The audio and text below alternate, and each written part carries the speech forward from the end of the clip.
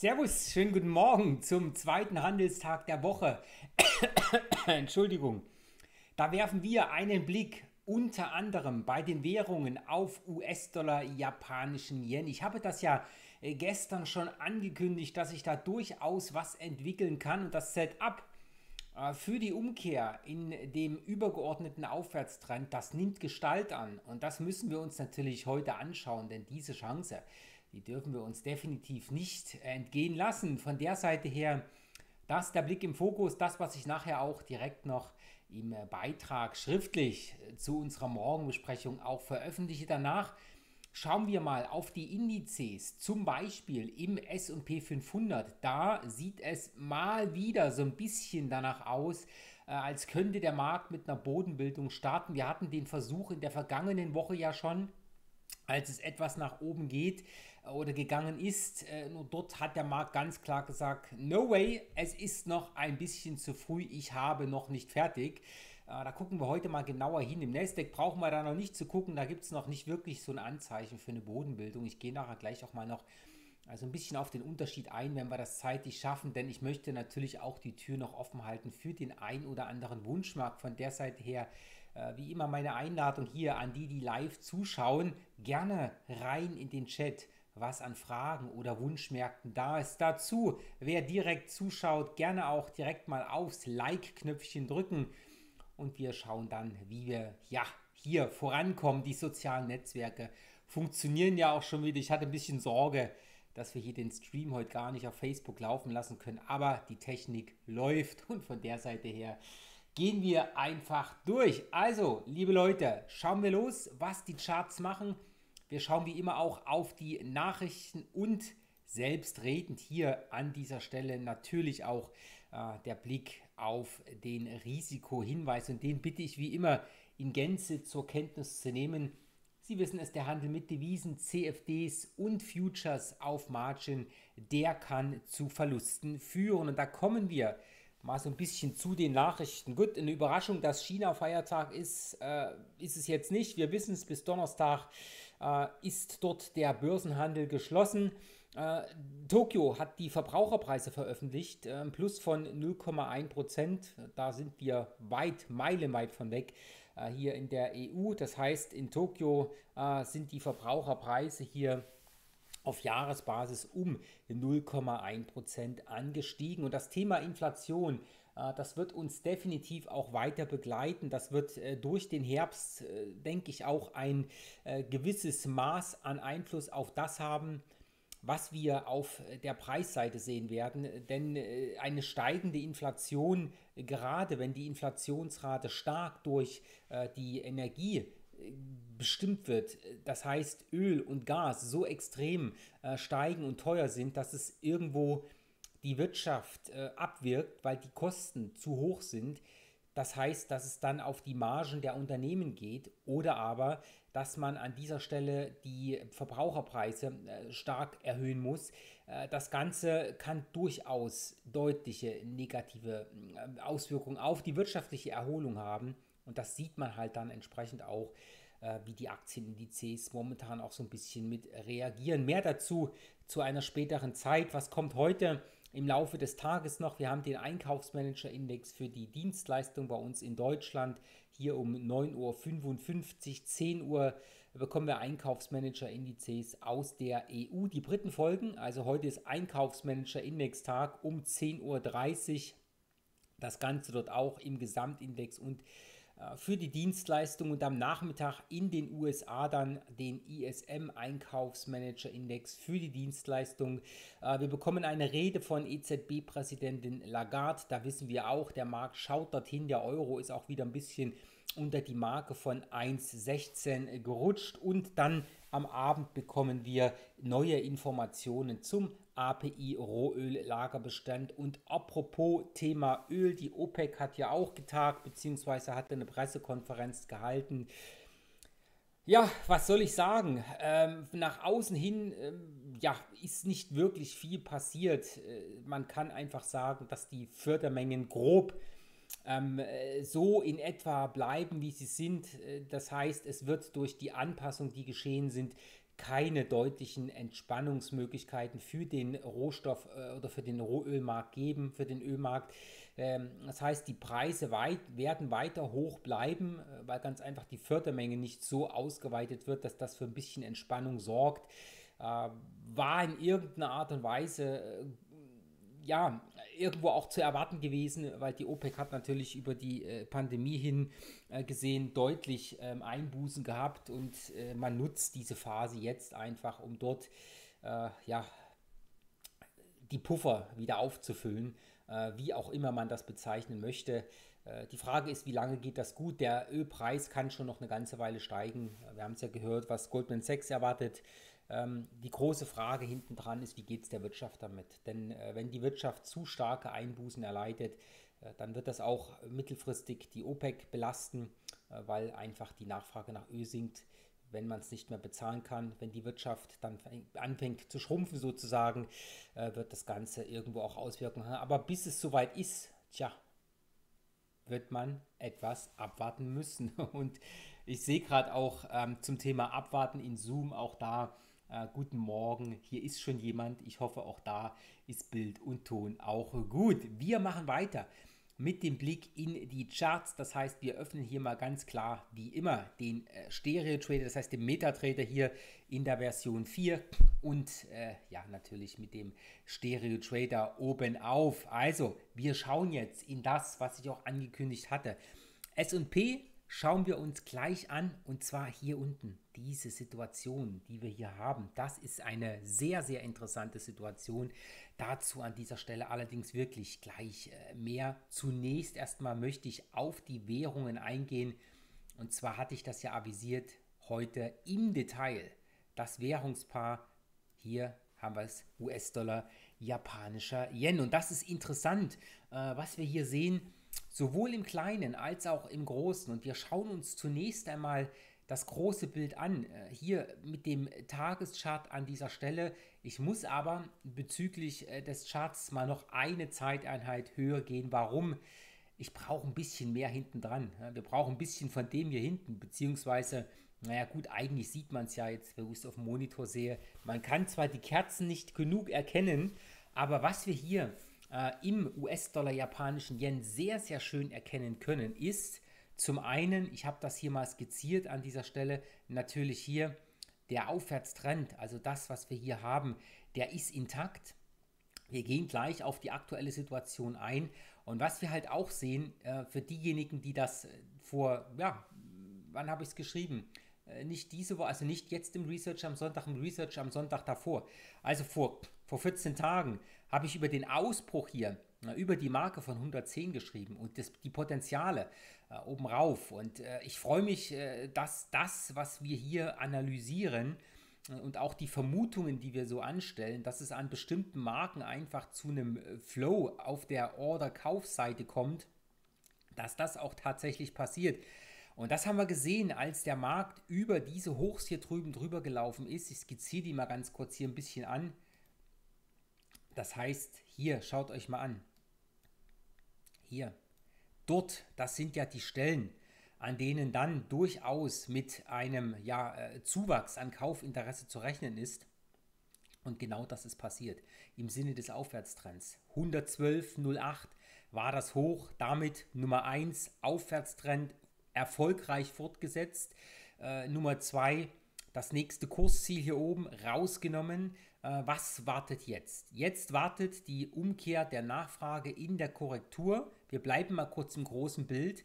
112,08 erstes Kursziel für die Fortsetzung der laufenden Aufwärtsdynamik. Und danach, wo sind Anlaufpunkte? Können wir sehen, hier haben wir ein schönes Hoch, ein Widerstandsbereich hier bei 112,40. Also die nächsten Anlaufpunkte liegen dann irgendwo um die 112,20 bis 112,40. Das wäre mal der erste Punkt und danach sehen wir es, äh, können wir uns schon noch ein Stück weit weiter nach oben orientieren. Wir haben hier eine ganze Riege äh, von Zwischentops mit im System drinnen liegen, äh, im, im, im Chartverlauf hinten liegen. Und die zwei wichtigsten sind mal die, die wir hier haben. Das heißt an dieser Stelle natürlich das Top dort oben und dann hier unten aus der Abwärtstrendphase das Zwischenhoch, was wir hier oben liegen haben. Also über der Marke von 114 dürften wir uns dann äh, durchaus auch wiederfinden, wenn sich der Aufwärtstrend nach oben hin fortsetzt. Und das, das ist ja die spannende Geschichte, die wir hier an dieser Stelle haben, wo wir auch näher drauf schauen. Das mit dem näher draufschauen, das machen wir jetzt, ja, denn wir sind jetzt hier auf der Tagesbasis und wie schon gesagt, jetzt mache ich den Chart mal wieder ein Stück weit größer. Das interessante Bild, die interessante Story, die sich hier rauswirtschaftet, ist ja das, was ich gestern schon mal so ein bisschen angedeutet habe. Äh, und zwar ganz klassisch die Situation, wir sind verortet im Aufwärtstrend. Ich mache auch gleich mal den Lower Timeframe rein. Schaut mal, da sehen wir das hier. Erste initiale Bewegung, da sind wir hier über die ganzen Zwischenhochs drüber gegangen, ausgebrochen über die Marke äh, von 110,50. Dann ging es hier auf diesen Bodenbereich mittlerweile einmal, zweimal, dreimal, viermal getestet, immer gehalten und dann ist die Rallye so richtig in Gang gekommen. Das heißt, das, was wir hier momentan im japanischen Yen sehen, ist, wir haben im Großen einen Aufwärtstrend und wir haben hier mittlerweile einen weiteren Aufwärtstrend, der jetzt richtungsführend ist. Und der steht momentan in seiner korrektiven Phase. Und das Interessante äh, von der klassischen Verortung her ist das, dass wir jetzt aktuell in einem schönen Support-Bereich unterwegs sind. Schaut euch das mal an. Das ist das Trendentstehungslevel von dem Trend, den ich gerade auch eingezeichnet hatte. Ähm, da sind wir gestern draufgelaufen, hochgelaufen, allerdings dort wieder runtergelaufen. Jetzt sind wir wieder auf dem Weg nach oben. Und das ist die äh, Phase, in der der Markt versucht, eine Richtung zu finden. Das heißt, auch hier äh, den Ausbruch nach oben probt. Und was da wichtig ist, ist natürlich unten das Tief, das muss ich mal noch ein bisschen anpassen, das Tagestief, wo haben wir das gestern gehabt? Das haben wir gehabt bei 108, äh, 2, äh, 110, 82. Das muss ich mal hier noch ein kleines Stückchen tiefer ziehen. Also das ist die 82.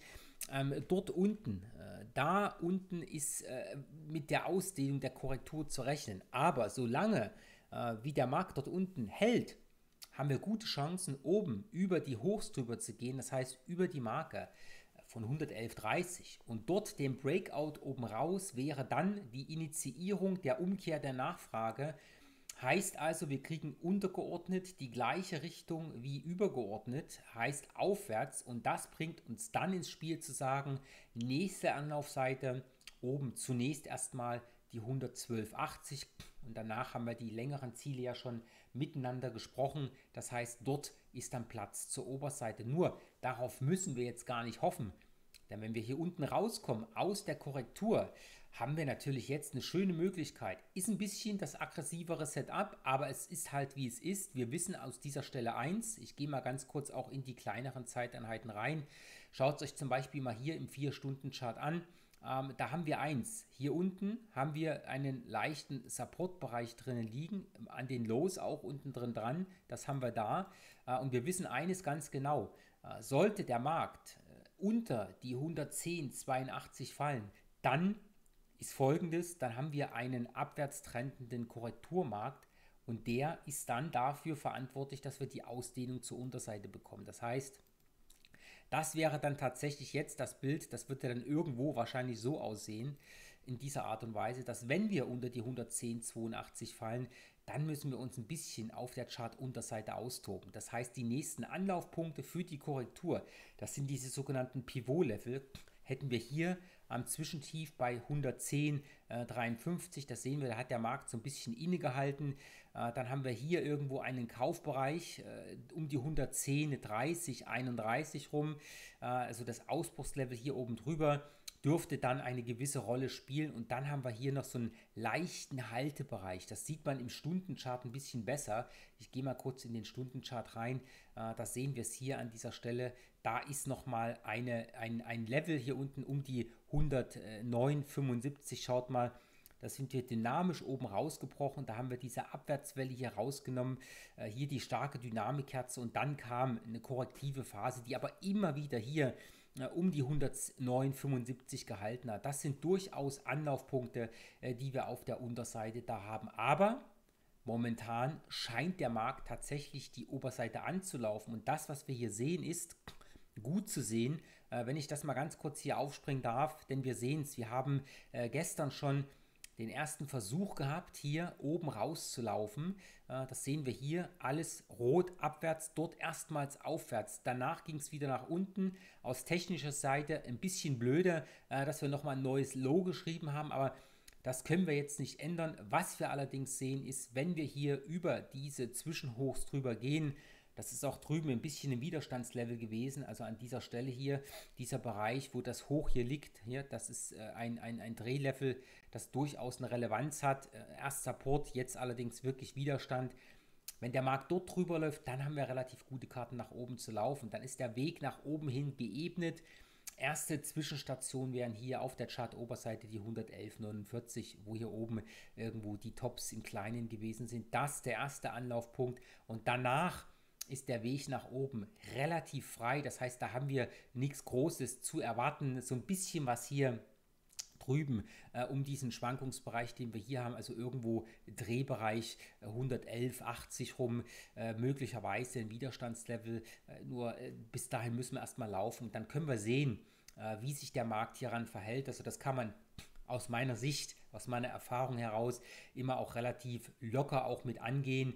Denn wer unten reingeht in die Entstehung dieser Bruchphase, auch der hat auch dann da oben schon genügend Puffer, dass man mit den Stops gut arbeiten kann. Äh, und deswegen braucht man sich dort jetzt noch keine zu großen Gedanken zu machen. Zunächst ist erstmal wichtig, was passiert hier an der Marke von 111,30. Also das mal äh, die Long-Ausdehnung zur Oberseite hin wie schon gesagt, die Chancen sind tatsächlich da und wie schon gesagt, wie gestern auch avisiert, das ist mit Anführungsstrichen das aggressivere Setup, wenn man sozusagen intraday schon einsteigt. Wir haben ja gestern die Situation auch schon gehabt, als wir hier oben drauf gelaufen sind. Und auch gestern war hier oben die 111.30 der wichtige Punkt.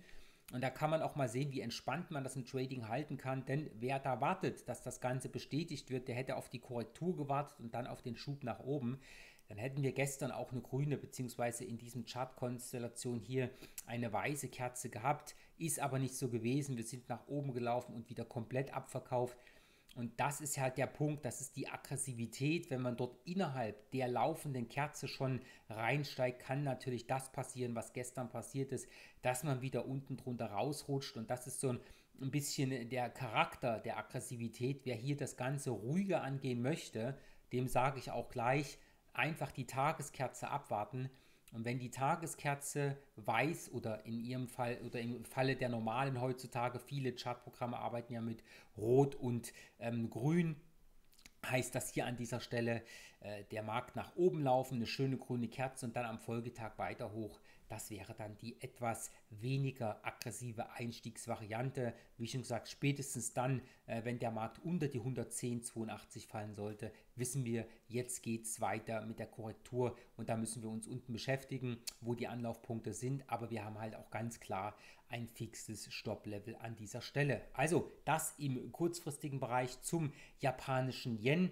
Äh, Nochmal kurz die Bitte, wer einen Wunschmarkt auf dem Herzen hat und hier auch zuschaut, gerne rein äh, in die Chats. Äh, da kümmere ich mich sehr, sehr gerne um das ein oder andere Setup. Und wir gehen weiter äh, bei den Setups und sprechen hier noch eine Sache an, und zwar das Thema der Kryptowährungen.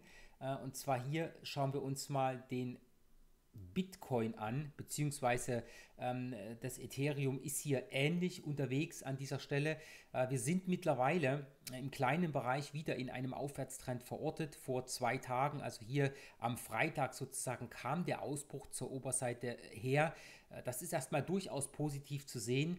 Eine Sache ist aber immer noch da, und zwar die Tatsache hier an dieser Stelle aus charttechnischer Sicht, äh, der Abwärtstrend, der ist weiterhin im, im gröberen Bereich nach oben hin zu sehen, äh, der ist weiterhin intakt. Das heißt, an dieser Stelle ist das hier das große Schwungbild noch nicht rausgenommen. Das heißt, wir wissen es ja selbst, ein Trend ist erst dann gebrochen, äh, wenn das letzte Zwischenhoch rausgenommen wird. Und mit Blick auf Ethereum im US-Dollar ist es halt hier oben das Level um die 3670 äh, US-Dollar-Marke. Äh, und da hilft es schon mal, dass ein Aufwärtstrend auch da ist. Das heißt, den sehen wir hier an dieser Stelle sehr, sehr klar und deutlich nach oben laufen. Wichtig, ganz wichtig wird es dann, was passiert hier oben bei 3670 US-Dollar. Dort ist der wichtige Punkt und das ist das, was wir an dieser Stelle brauchen. Da oben muss der Markt drüber und alles, was bis dorthin passiert, ist schön zu sehen auch im Aufwärtstrend. Die Phase geht wieder nach oben, aber hat halt noch keine starke Auswirkung auf die entsprechende Umkehr. Und das Bild mal kurz auf die Woche gesehen. Da sehen wir es hier auch, die Schwankungsbreiten sind halt einfach immens groß äh, und dort sieht das Bild halt entsprechend ähnlich aus. Hier über das Spike hoch müssen wir drüber, aber wir sehen es hier auf der Wochenbasis. Wir haben steigende Hochs hier oben, also hier ein Hoch, dort ein steigendes Hoch. Wir haben ansteigende Tiefs, das ist schon mal ähm, positiv und das ist auch das gleiche Bild, was wir im äh, Bitcoin sehen hier an dieser Stelle. Da auch natürlich hier auf Wochenbasis äh, sehen wir es sehr, sehr schön. Ein Anstieg der Kerzen hier, die Hochs oben, die steigen wieder an. Die Tiefs steigen wieder an. Also das ist sehr, sehr positiv zu sehen. Und wenn wir uns das hier auf Tagesbasis mal mit anschauen wollen, äh, dann sehen wir auch gleich, der Bitcoin ist hier schon ein ganzes Stückchen stärker mittlerweile unterwegs. Das heißt, hier an dieser Stelle sehen wir auch, der Aufwärtstrend ist wieder richtungsführend. Das heißt, hier an dieser Stelle die Abwärtsphase ist aus dem Markt rausgenommen. Hier sind wir unten reingelaufen, haben den Abwärtstrend geschrieben. Das ist ganz klar und offensichtlich. Und jetzt sind wir hier wieder verortet in einem neuen Aufwärtstrend. Und dieser neue Aufwärtstrend hat halt geschafft, oben äh, die Hochs rauszunehmen, das Korrekturhoch was wir gehabt haben bei 48.429 Zählern. Äh, und das Ganze sehen wir hier natürlich weiter nach oben laufen. Nun das nächste Kursziel im Bitcoin hier oben zunächst die alten Hochs, die wir hier auf diesem Chart sehen, bei 52.880 Zählern. Das sind ähm, die Hochs, die wir hier haben. Das muss auch raus und danach können wir uns weiter zur Oberseite orientieren. Der nächste Anlaufpunkt wären dann tatsächlich wieder hier oben die 59.500 Punkte Marke. Also das äh, ist da. Äh, wir sehen es, der Markt will wieder zur Oberseite rauf. Und hier wird es interessant zu sehen zu sein, was als nächstes hier am Top-Bereich oben bei 52,880 passieren wird. Das der Blick in die Kryptowährungen. Und damit gehen wir mal zu den Indizes. Und ich hatte es ja vorhin versprochen, wir schauen an dieser Stelle mal auf äh, den zunächst S&P 500, den haben wir hier im, im Stundenchart, aber ich möchte zunächst mal kurz auf die Situation im Tageschart hier eingehen, äh, denn da sehen wir ganz klar einen, einen abwärtsgerichteten Markt, aber wir sehen einen abwärtsgerichteten Markt, der nicht mehr so dynamisch nach unten läuft, denn äh, was wir hier sehr, sehr schön sehen können, ist, wir sind mittlerweile in einem Level unten angekommen hier, die Tiefs irgendwo um die 4270 Punkte Marke, ähm, das durchaus ein interessantes äh, Kauflevel ist. Deswegen, weil wir hier ausgebrochen sind, nach oben hin, hier das Ganze getestet haben und immer wieder äh, zur Oberseite abgeprallt sind. Und das ist das, was wir hier momentan sehen. Das heißt, an dieser Stelle durchaus interessant zu sehen, was hier passiert. Das heißt, die Aufwärtsseite äh, wird getestet. Wir sehen es hier unten, die Tiefs, also alles, was unter äh, die 4280 Punkte fällt, wird gerne wieder aufgekauft. Und das ist schon eine Möglichkeit, wo man sehen kann, okay, durchaus ähm, bietet sich jetzt hier eine Spekulation auf eine erneute Umkehr auf die Long-Seite an und das schauen wir uns mal kurz im Stundenchart an. Ja, das ist nämlich das Interessante an dieser Stelle. Ähm, wir haben ja in der letzten Woche das Setup zur Oberseite auch besprochen im kleinen Bereich. Wie schon gesagt, hier, das ging nicht auf, der Markt hat rumgedreht, äh, deswegen auch die Stops. Das ist halt ganz, ganz wichtig, wenn wir in solchen Situationen die Long-Variante probieren und der Markt noch abwärts gerichtet ist, immer enge Stops setzen, weil man handelt gegen den übergeordneten Trend. Und hier haben wir jetzt eine ähnliche Situation, wenngleich auch von der visuellen Seite etwas anders gesehen. Ähm, aber wir stehen jetzt halt hier davor, unten äh, diesen Auffangbereich als Basis für einen Aufwärtsschub zu nutzen. Und wenn ich hier mal kurz den kleineren Zeitrahmen reinmache, dann sieht man es auch schon. Äh, wir sind hier in der Situation, die Abwärtsphase ist zwar definitiv noch da, aber der Markt fängt hier unten an, so ein bisschen zu kontra also die Kontraktionen zu bauen. Ähm, und das ist jetzt interessant zu sehen von meiner Warte her als Händler. Was ich hier sehr, sehr interessant finde, ist die Situation hier. Hier oben an dieser Stelle. Wenn es da drüber fliegt, äh, dann haben wir charttechnisch schon die Chance, äh, nach oben zu laufen. Dieses Innehalten, was wir hier haben, rüberzunehmen, nach oben rauf zu laufen. Und das Bild, äh, was wir dann im Chart haben, ist mal definitiv etwas hier an dieser Stelle rauf, runter und dann hier durch die Zwischenkontraktion im gröberen äh, dann raus. Und äh, die Tatsache, äh, dass der Markt hier jetzt scheinbar wirklich zur Oberseite rauf möchte, äh, das ist eine sehr, sehr interessante. Das heißt, wenn wir hier tatsächlich wieder die Marke von 4.310 Punkten zurückerobern, dann haben wir zunächst einmal die Chance, oben reinzulaufen. Das heißt, zunächst erstmal in Richtung des Zwischenhochs, was wir hier haben, dort oben, diese Marke bei äh, 4.354 Zählern rum. Das ist die Chance, äh, die wir hier haben. Was halt im Hinterkopf behalten werden muss, ist das Thema Risiko.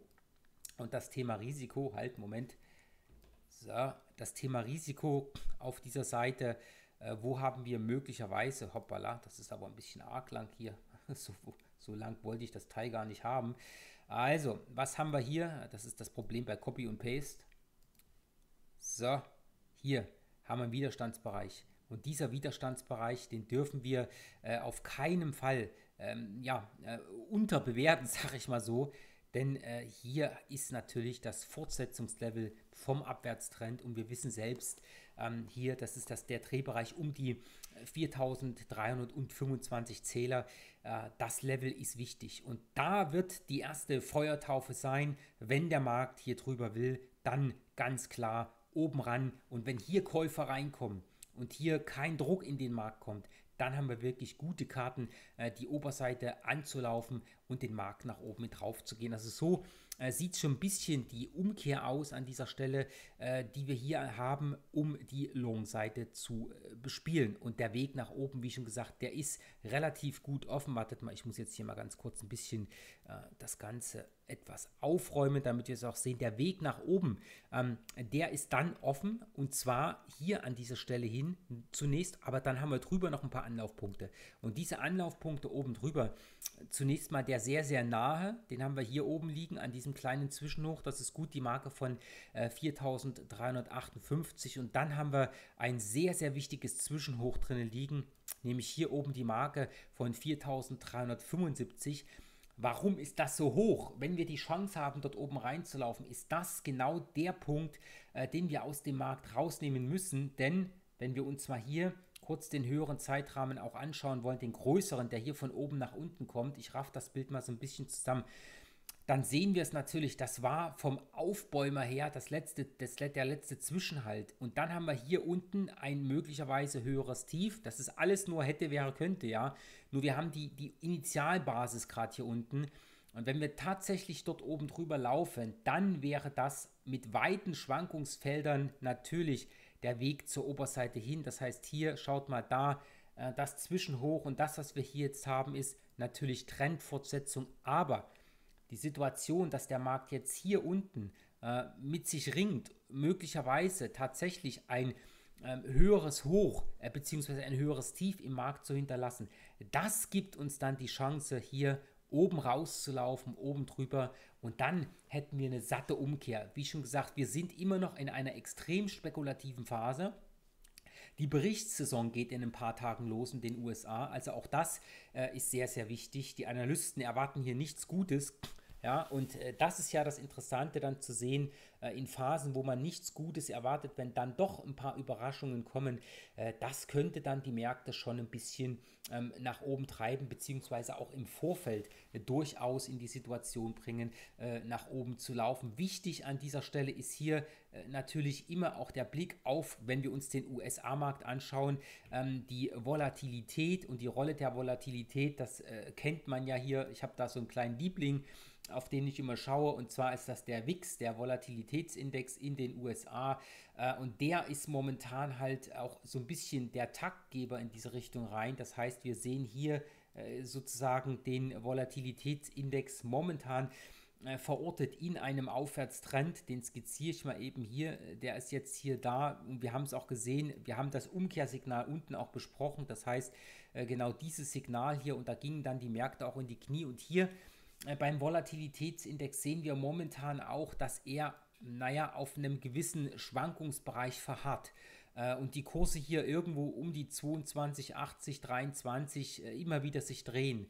Und damit sehen wir, es geht nicht äh, flockig zur Oberseite rauf. Äh, das heißt, wir haben hier schon die Chancen, dass wir hier im äh, tieferen Bereich eine Bodenbildung sehen, beziehungsweise Bodenbildung ist Quatsch, Schwachsinn, ähm, eine Phase haben, wo der Markt doch nicht von der Wohler weiter hochläuft. Und wenn wir hier tatsächlich äh, deutlich unten drunter rutschen, das heißt deutlich unter die Marke von 22, hier unter diese Zwischentiefs, die wir hier unten drin liegen haben, äh, das wäre dann ein gutes Zeichen dafür, dass die Wohler nachlässt und dann haben wir Chancen, wieder in die Tiefe reinzugehen. Und das ist dann natürlich genau das Umfeld, ähm, was wir brauchen, um hier äh, im SP 500 die Oberseite wieder anzusteuern. Das fließt ein bisschen zusammen. Wie schon gesagt, aktuell noch hoch spekulativ, weil im Abwärtstrend verortet und wir wissen selber, wenn der Markt im Abwärtstrend ist, dann schiebt es das häufig auch noch ein ganzes Stück weit nach unten, aber die Verortung äh, hier an diesem Auffangbereich äh, um die 4200, äh, um die 70 Punkte Marke, äh, die ist schon auch interessant und die könnte durchaus hier zumindest mal kurzfristig den Anlass für einen kleinen Sprint zur Oberseite geben. Und das Ganze, was wir uns jetzt hier im S&P 500 angeschaut haben, kurz nochmal der Blick auf den Nasdaq. Da sieht der Markt ein bisschen anders aus. Ja, also hier haben wir nicht so eine Bodenbildungsphase äh, wie das, was wir gerade gesehen haben hier äh, im, äh, im, im S&P 500. Nein, äh, hier sind wir doch drunter gerutscht, kommen jetzt so ein Stückchen hoch, aber wir haben dieses Federn, was wir gerade dort gesehen haben, dort noch gar nicht. Ähm, also hier sehen wir natürlich im Chart auch äh, einen Aufwärtstrend am Bilden und selbstverständlich auch hier die Chance, sollte der Markt jetzt hier oben drüber laufen, äh, den kleinen Aufwärtstrend zu machen, ist auch da, wie schon gesagt, das charttechnische Bild ein kleines bisschen anders. Äh, nächster Widerstandsbereich, der ist ja auch schon da, also auch relativ nah das Ganze ran hier, äh, um die Marke von 14.550 äh, Punkten. Äh, da ist das nächste Widerstandslevel.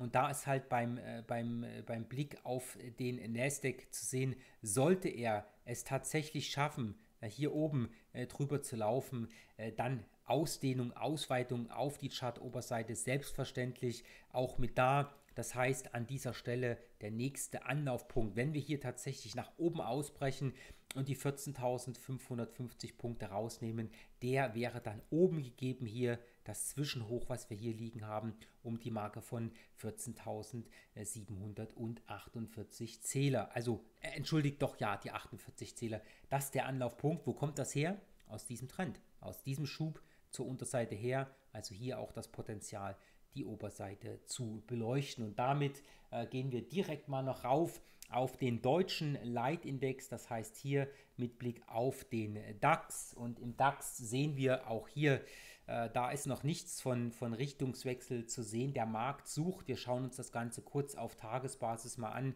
äh, sucht weiterhin hier unten diesen großen, großen Schwungbereich man kämpft mit der Marke von 15.000 Punkten. Es wird immer wieder so ein bisschen aufgelesen von unten nach oben. Äh, das sehen wir hier, aber für den Richtungswechsel äh, gibt es noch keine klaren Anzeichen. Äh, das heißt, auch hier äh, der Markt muss nach oben. Etwas, das hier leicht positiv gesehen werden kann, ist die Tatsache, äh, dass wir schon mal über gewisse Zwischenhochs drüber gelaufen sind.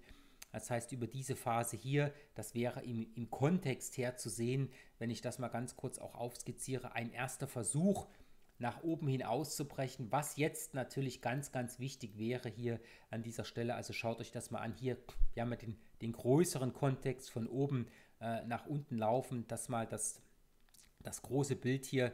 Und der Kontext, den wir hier haben, wäre jetzt tatsächlich auch mit Blick auf den äh, DAX die Chance, eines höheren Tiefs, ja, und ein was, was mir hier äh, etwas Hoffnung gibt, dass wir doch durchaus ein bisschen nach oben laufen können, ist die Tatsache, dass zumindest der DAX mal versucht hat, über das Zwischenhoch hier bei 15.102 Zählern drüber zu laufen. Das heißt, hier den Schub oben drüber gemacht hat. Und jetzt wäre es halt ganz, ganz wichtig, dass wir, bevor wir dieses Tief hier unten wieder unterschreiten, nach oben hin umdrehen, und dann nach oben rauslaufen, dann, dann haben wir einen Aufwärtstrend und dann können wir uns an den höheren Leveln orientieren und die haben wir hier an dieser Stelle dann liegen hier um die Marke von 15.170 beziehungsweise hier dann etwas über der Marke von 15.200 Punkten. Das sind dann im DAX die nächsten Anlaufpunkte auf der Seite,